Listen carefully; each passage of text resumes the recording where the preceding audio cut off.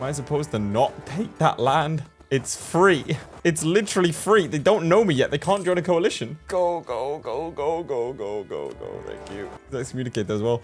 All right. So it might be in three wars after I said I was going to calm down. Um, that there's a, there's a very good reason for that. Um, I have to.